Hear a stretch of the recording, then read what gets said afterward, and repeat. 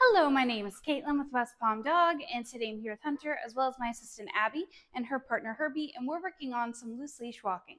Now, the biggest distraction you can ever give a dog on a walk is another dog, and so today we're practicing walking both dogs together. Now, the reason why we're starting in the patio is because we want to make sure both dogs are successful before we move to a more distracting environment like outside. So we're going to go ahead and start walking around the patio, and we always start with the dog's name and then the command. So it's going to be Hunter. Let's go. Now, just a reminder of what consists of a polite walk. There's going to be no pulling, no dragging, and no sniffing the ground allowed on this walk whatsoever. Come on. Right off the bat, you see both dogs doing very nice. Now, we do got an extra distraction in the background.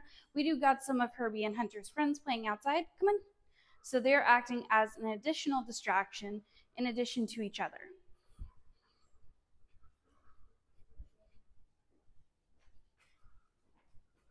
Good job. You see both dogs are walking on a very nice leash.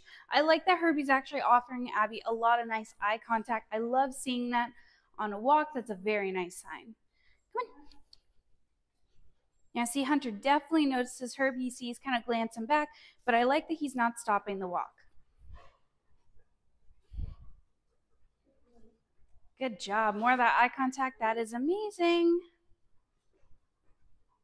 Good job. Now we're going to go ahead change direction.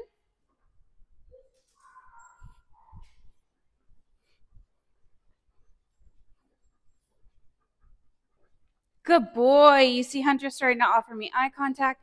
Really nice job. I love seeing eye contact. It means our dogs focus on us instead of the distractions around them. Really nice job. All right, we're going to go ahead do one more lap. You see both dogs are able to pass each other without glancing. Really nice. All right, now to stop with our dogs, we're just going to go ahead, say their name, and then take a couple extra steps. So it's going to be Hunter. Good job. And both dogs, as you can see, actually gave us a very nice sit when they stopped. Very polite. Overall, I'm very happy with today's practice session. They were both polite on their walks. They were focusing on their handlers.